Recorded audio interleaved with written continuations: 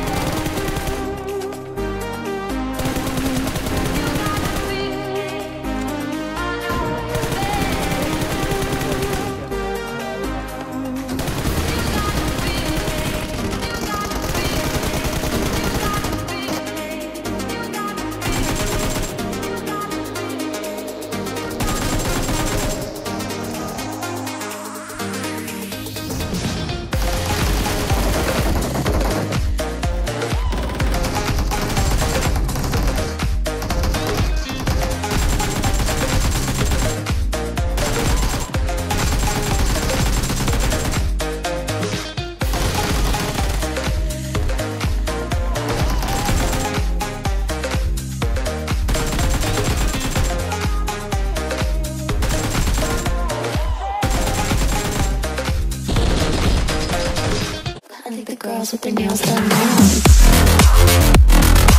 now.